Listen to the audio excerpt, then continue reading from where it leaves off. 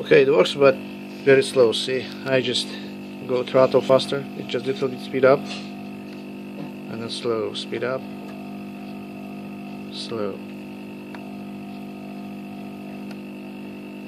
I did like like you suggested. Put capacitor, a one kilo resistor, and that's it.